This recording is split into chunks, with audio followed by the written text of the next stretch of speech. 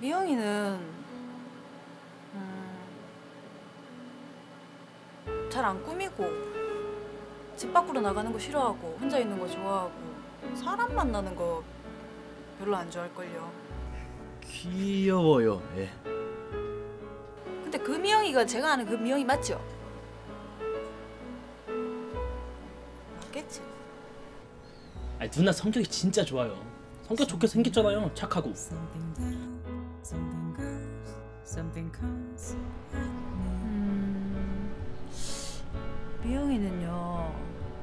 Someone laughs, someone runs, someone cries, someone 아 미영이야? laughs at me.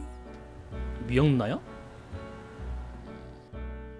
네, 제가 황미영입니다.